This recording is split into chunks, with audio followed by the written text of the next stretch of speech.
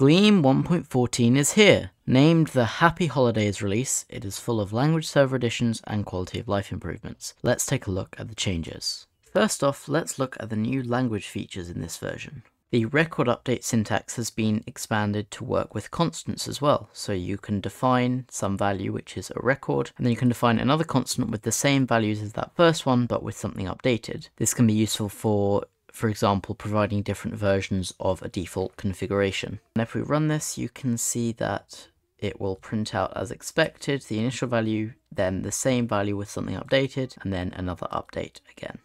On the JavaScript target, Gleam supports emitting TypeScript declarations which create a typed interface for your compiled Gleam code. The problem is that if you ever use an external type, which is basically a type with no constructors. It is effectively opaque to Gleam and only can be used to represent some data that is handled in FFI code. Since we don't know what this type is, we have to compile it to a TypeScript any type, indicating that we don't know what the type is. The problem is this kind of defeats the whole point of having types. If you say a value can be anything, then there's no point in having a type in the first place. In 1.14, the external attribute can now be used on types with no constructors to tell the compiler what to generate for the type annotations when either generating Erlang type annotations or TypeScript definitions. And you can see here in the TypeScript, it will just re-export the dict type. And on Erlang as well, it defines this type as what we've told it to. Next, let's look at the performance and quality of life improvements made in this version.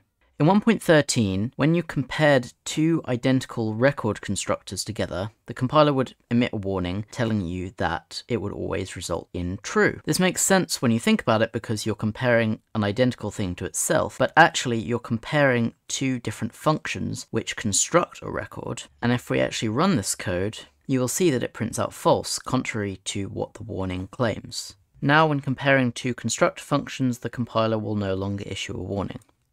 In Gleam 1.13, any fields of custom types that had an error in them would just be ignored, leading to cascading errors that really just stem from a single error. If I change this non-existent type to one that exists, all the other diagnostics go away, so really these are false positives. Whereas in 1.14, this field is the only error and using it does not result in another cascading error. In Gleam, if you have a documentation comment, which is followed by a regular comment, that doc comment doesn't actually get attached to this function. If I hover over this, it doesn't show the documentation. This was a decision made a while ago to prevent documentation comments jumping around if you temporarily comment out a function implementation. If you fail to notice this, then you might end up publishing some library that doesn't have the documentation that you want it to have. In 1.14, a new warning has been added to tell you when a documentation comment is detached and explain to you how to fix that. When creating a Gleam library, it's possible to create a file and then forget to delete it, and then end up accidentally publishing a library with an empty module in it. In 1.14, there's a new warning that tells you that a particular module doesn't have any public definitions. And if you try to publish a package with an empty module, it will give you an error and tell you that you need to delete that file.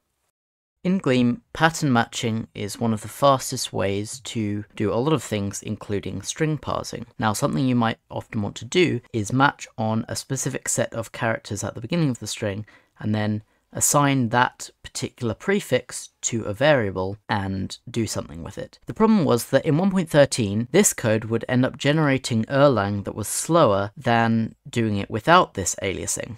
Without the aliasing, this would essentially generate the fastest code possible, which is matching on each of these possible prefixes, and that can effectively be optimized to a jump tree when compiled to bytecode. When using aliasing though, it had to compile to a guard instead, which ended up being about 10 times slower by some benchmarks. In 1.14 this case has been improved, it will now generate the same pattern matching code as it would without the binding, and it generates the binding inside the body of the case branch instead. Exhaustiveness checking, that is, checking if a particular case expression covers all possibilities, is very tricky, especially when it comes to bit arrays matching the string A is equivalent to matching the value 97, because 97 is the UTF-8 encoding of the character A. And similarly, if you match a single bit that is a 1 followed by any bit, that will always match before two bits that are both 1. In Gleam 1.13, the compiler was unable to tell that these pairs of segments match the exact same thing. In 1.14, this has been improved, so these two patterns can be marked as unreachable by the compiler, and it also improves the performance of pattern matching on the JavaScript target. Similarly, if multiple branches matched on the same value but with a different representation, for example, all of these branches match on 100 but they have slightly different syntax to do so, the compiler would also not be able to tell that these all match the same thing. In 1.14, these are all marked as unreachable as they match on the exact same value as this first one. In Gleam, Boolean literals use capital letters. This can be a source of confusion to people coming from other languages where they're all lowercase. To avoid this, using lowercase booleans is an error and it tells you to use capital instead. The problem with this in 1.13 is that this was a syntax error, meaning that if you accidentally had a lowercase boolean literal, no other LSP features would work and you wouldn't get any kind of autocomplete or anything like that. In 1.14 these have been changed to a type error, which means that having this error doesn't break the rest of your code and you still get autocomplete and other things. Gleam, unlike JavaScript, uses structural equality when using the double equals operator. This means that on the JavaScript target, since it's not the default behavior, we need to implement it ourselves. The problem is that this equality is pretty slow. For example, this code, where I'm checking if a particular user is a guest, in 1.13, is much better written as this case expression, where I pattern match on it instead, since this would use an instance of check on JavaScript, which is much faster than the whole comparison function. In 1.14, this case has been optimized so when you're checking a value against a singleton type, as in one that doesn't have any fields, it will use an instance of check which is much faster than the is equal function used for other comparisons. A fairly common mistake in Gleam is to try to combine alternative patterns with multiple subjects, something like this. The first subject is matches either 1 or 2, and then the second subject has to be true. Now this isn't how alternative patterns work. In Gleam, alternative patterns only work at the top level, so both branches must match on the second subject. But the problem was that in 1.13, the error would highlight the entire case branch, making it difficult to understand what the actual problem was. In 1.14, this error message has been improved, so it only shows the pattern that is causing the error, making it easier to understand. A fairly common confusion about Gleam is the behavior of the commands gleam run, gleam test, and gleam dev. Here I have three files. I have v114.gleam, v114test.gleam, and v114dev.gleam. v114 is the name of the project defined in my gleam.toml, and in each of these I just have a main function that prints something to the console. Now you can see if I, for example, run gleam test, it will print out no tests to run today. People often assume that gleam test is doing some kind of magic test discovery, but really all it's doing is running the main function of the file named your project followed by underscore test. The same applies to dev for Gleam dev and just the same project name for Gleam run. In Gleam 1.13, if we for example see the help text for the test command, it will say run the project tests.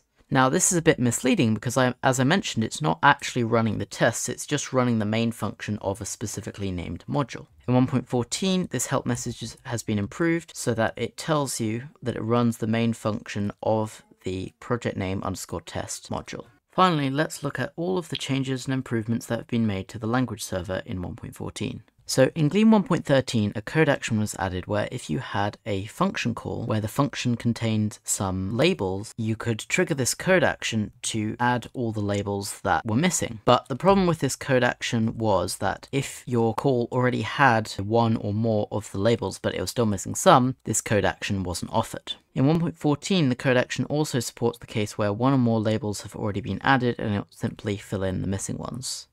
For quite a long time now, Gleam has had a code action to take some kind of definition and add type annotations to it, which is inferred by the compiler. But if you have lots of different definitions in a file that you want to annotate all of them, there was no real good way to do that. You would just have to go through and manually annotate each of them. In 1.14, there is a new code action that can be triggered when hovering over any definition, and it will automatically annotate every single public definition for you.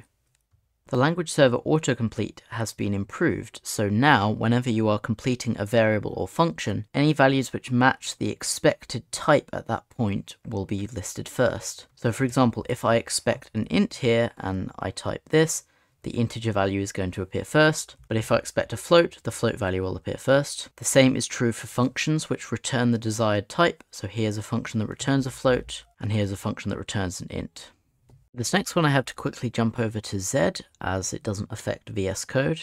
Zed, as well as many other editors, have a feature where you can jump to the next diagnostic in the file so you can fix it. In 1.13, certain diagnostics were effectively two different diagnostics, meaning you had to click through them twice in order to skip past them. In 1.14, this has been fixed, so related diagnostics are grouped together and treated as just a single one.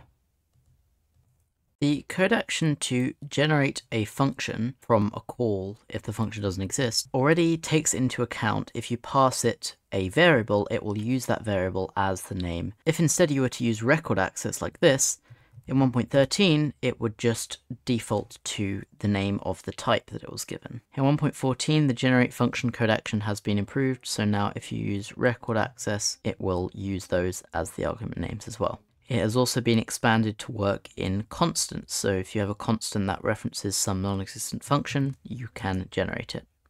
Sometimes two or more branches of a case expression end up having the same implementation, and in that case you want to merge the branches together. In 1.14 there is a new code action to do that. You simply select the case branches you want to merge and select merge, and it will merge them into a single alternative pattern.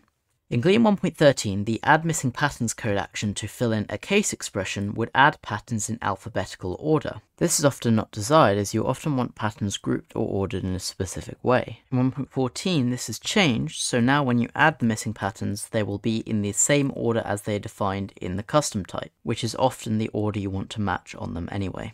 In Gleam 1.13, if we have some code like this and we want to trigger a code action to pattern match on this argument, it would create two very nondescript names, value 0 and value 1. In 1.14 this has been improved so that when you pattern match on a tuple it will use the names of the types of the elements of the tuple. For quite a while now Gleam has had a code action to take a qualified value and unqualify it. But in 1.13, this would not apply to constants as well. This constant is still qualified and there's no way to trigger this code action here. In 1.14, it has been expanded to work with constants as well. So you can both trigger it from constants and if you trigger it from elsewhere, constants will be unqualified and requalified again as well. And those are all the 1.14 changes. You can download the latest version from the link in the description, and I'll also link to the release post where you can read the changes in text form, and the changelog which contains details of everything in the update including the full list of bug fixes. Happy holidays and enjoy this version of Gleam.